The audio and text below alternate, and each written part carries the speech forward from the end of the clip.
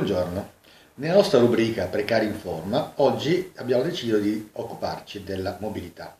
Premettiamo che la situazione è ancora in itinere e che, ci sono, che sono in corso gli incontri tra il MIUR e i sindacati. Però abbiamo deciso di occuparci di questa materia un po' per fare il punto della situazione e anche per mettere ordine alla rida di informazioni, a volte diciamo così improvvisate, che in queste ultime settimane sono,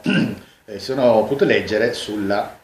eh, su, su internet, sui vari media. La situazione è eh, molto ingarbugliata e in itinere, quindi eh, ci riserviamo di eh, occuparci di nuovo una volta che ci sarà un testo definitivo e in quel caso appunto alla nostra rubrica andremo a dare le definizioni, diciamo, la, le informazioni precise e puntuali riguardo appunto alla mobilità. Questo set sarà scritto in maniera frettolosa per poterla appunto approvare in tempo utile prima delle, dell'estate e avendo fatto un articolo unico con 100 passacommi, a volte, come appunto in questo caso, diciamo, si, la, si la, apre il fianco alla possibilità di poter fare dei ricorsi e possa in qualche modo inficiare eh, tutto l'iter legato appunto alla mobilità. Infatti ricordiamo che la E107 eh, prevede per quest'anno un piano straordinario di mobilità che viene fatto a livello nazionale su ambiti territoriali, lasciando però spazio ad alcune diciamo, deroghe, tipo quelli i neoimmessi ruoli della fase 0A che hanno un comportamento diverso rispetto a quelli della fase B e C e i immessi ruolo prima del 2014 che hanno una precedenza sì su tutti coloro che sono stati messi in ruolo quest'anno, ma eh, al rigor di legge non potrebbero, diciamo se facesse domanda volontaria, fare domanda su una singola scuola, cosa che sarebbe concessa a chi è stato assunto in ruolo a fase 0A, con un, un, un intreccio di possibili ricorsi che è evidente. Un contratto ovviamente non può sovrastare una legge e contrastare eh, la legge stessa, però eh, da voci più o meno informali e ufficiose che stanno circolando in questi, in questi giorni, eh, sembra che ci sia la volontà di in qualche modo porre eh, rimedio alle storture che derivano da, appunto dalla legge 107. Sembra che la mobilità quest'anno sia suddivisa in due parti sostanziali. Una parte con le vecchie regole sulla fase provinciale, alla quale potranno partecipare tutti gli immessi in ruolo eh, prima del eh, 1 settembre 2014 e gli i neo immessi in ruolo della fase 0A. Per questi eh,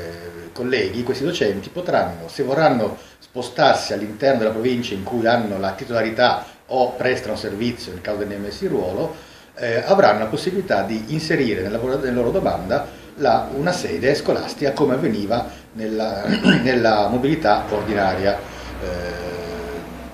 quindi per questi, per questi colleghi non ci, sarà, non ci, saranno gli ambiti territoriali che sono introdotti da questa legge.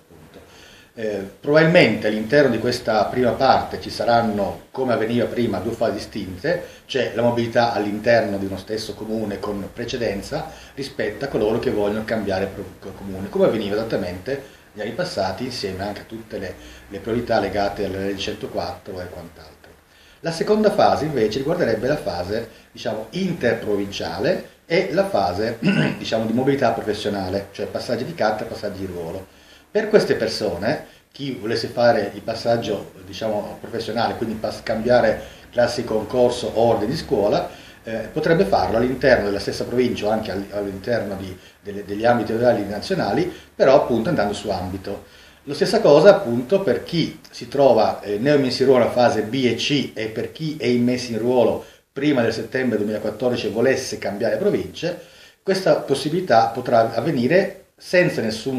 nessuna deroga dei tre anni come c'era in passato, ma appunto attraverso una mobilità straordinaria che consente di fare questa eh, questa domanda cambiando provincia su tutti i posti possibili e disponibili, quindi compresi quelli del potenziamento, però si potrà andare soltanto su un ambito, si potrà scegliere un ambito le cui ampiezze non sono state ancora diciamo, delineate in maniera precisa, si sa soltanto, come dice la legge, che saranno ehm, inferiori alla provincia. Sempre in via ufficiosa e dai, dai, dai, dai resoconti che si sono avuti dagli incontri con il Ministero, sembra che il numero di ambiti grosso modo sia la metà degli attuali distretti, quindi per ogni provincia si può, per avere un'idea di come saranno gli ambiti, andare a prendere gli attuali distretti, dividerli per due circa e quello dovrebbe essere l'ampiezza di un singolo ambito. All'interno chiaramente di questa seconda parte, quindi mobilità professionale e interprovinciale, applicando la legge, la priorità viene data in maniera diciamo, diretta e automatica a tutti coloro che sono stati messi in ruolo prima del settembre 2014, che avrebbero appunto precedenza rispetto ai neomessi in ruolo, a differenza di quanto si pensava inizialmente, dalla lettura diciamo, precisa della legge, se veniva fuori questo, alla fase interprovinciale su tutti gli ambiti nazionali potrà partecipare anche il neo, messi ruolo nella fase 0 e A, insieme a neo messi in ruolo nella fase B e C. Questa appunto sembrerebbe una, una novità ed va, va incontro ad una serie di richieste fatte da tantissimi diciamo, colleghi che eh, avrebbero gradito poter tornare diciamo, nei loro paesi d'origine eh, e si sentivano defraudati dal fatto che appunto questa cosa veniva concessa a, a, a, qualcuno che aveva meno punti rispetto a loro. Quindi sembrerebbe che appunto nella fase interprovinciale sia aperta a tutti i messi in ruolo, ripeto appunto, però in coda a tutti coloro che erano già immessi in ruolo nel, nel, prima del 2014. C'è anche la questione delle precedenze riguardo a chi ha, avuto, eh, ha vinto il concorso ordinario rispetto alle, alle, gare, sembra che questa precedenza rimanga anche all'interno di questa fase eh, sugli ambiti, eh, chiaramente eh, appena ci saranno delle, diciamo, delle, il testo definitivo eh, saremo i primi a poter diciamo, discutere di, questa, di questo aspetto con tutte le informazioni del caso e tutte le istruzioni per poter fare questa domanda. Nel frattempo, appunto, buona, buona giornata.